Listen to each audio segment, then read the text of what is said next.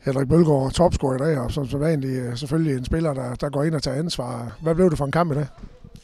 Nej, det blev en kamp, som, øh, som egentlig synes, vi sad øh, sådan relativt tungt på, men ikke som, øh, vi kunne bare ikke få den lukket. Og øh, det er jo selvfølgelig også fordi, at Mors er et svært hold at spille mod, og øh, vi ved godt, at de ikke giver op, og de har også øh, haft for vane sådan at stikke en, stikke en kæppe i hjulet på, øh, på Aalborg håndbold de sidste mange sæsoner.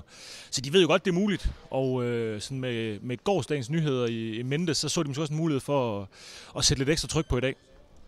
I har spillet en øh, europæisk kamp i, i onsdags. Øh, første halvleg i dag, den er egentlig tæt til, der er spillet 25 minutter. Så trækker jeg lidt fra op til, til pausen. For øvrigt med fremragende mål af dig til, til allersidst til 16-12.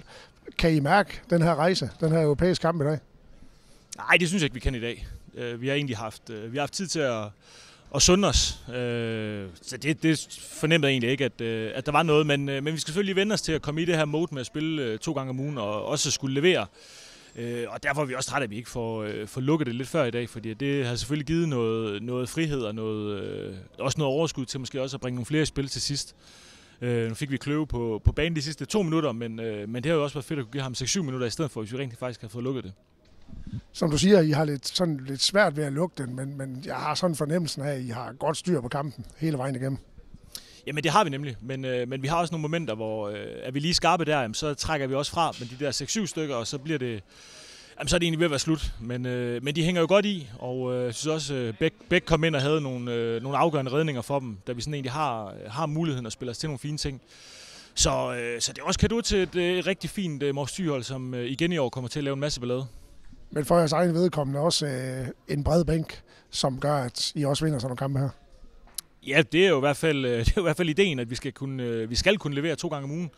Men, øh, men vi har også brug for, for øh, en masse toppræstationer, fordi at der er ikke nogen kamp i den, i den danske liga, hvor man bare, sådan, bare vader igennem og, og bare kan afgøre tingene på, på 35 gode minutter. Der skal mere til, og det, det så vi også i dag, at selvom vi egentlig synes, vi har fint styr på det, øh, og kommer til bedre løsninger end øh, Mors Thy så er den jo spændende ned til det aller sidste. Så øh, det er hårdt arbejde igen i år, men, øh, men det glæder vi os også over, og vi har heldigvis en, øh, som siger, en rigtig bred bænk, vi også kan bringe i spil.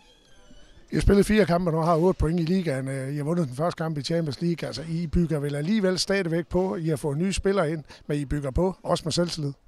Ja, selvfølgelig. Øh, lige nu øh, tanker vi masser af selvtillid, og det gør også, at arbejdet øh, sige, hverdagen bliver lidt nemmere, øh, og der er også lidt overskud til at øh, jeg også få kigget på, øh, på nogle af de ting, hvor vi synes, vi halter en lille smule endnu. Øh, det er noget andet, hvis vi nu har tabt øh, en 3-4 stykker af dem, så, så er det nogle helt andre ting, vi kigger på, og så handler det måske mere om indstilling, end det lige drejer sig om, vi spiller øh, to skridt længere til højre, øh, eller vi lige vender boldene på et andet tidspunkt. Så lige nu er det jo selvfølgelig nemmere, og det, det bruger vi også konstruktivt til at få rettet en masse ting til. Og jeg synes også, at vores spil hele tiden udvikler sig. Så øh, ja, selvom vi ikke har så mange træningstimer sammen, så er tingene der lidt sjovere lige nu, når vi bare vinder det hele. Tillykke med sig. Tak lige måde.